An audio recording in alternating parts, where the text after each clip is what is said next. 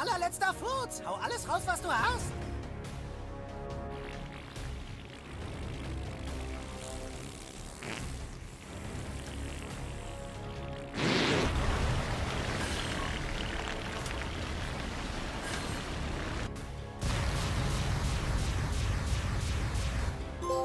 Unglaublich. Ich dachte mir, es kommt auf die Anzahl der Ärsche an.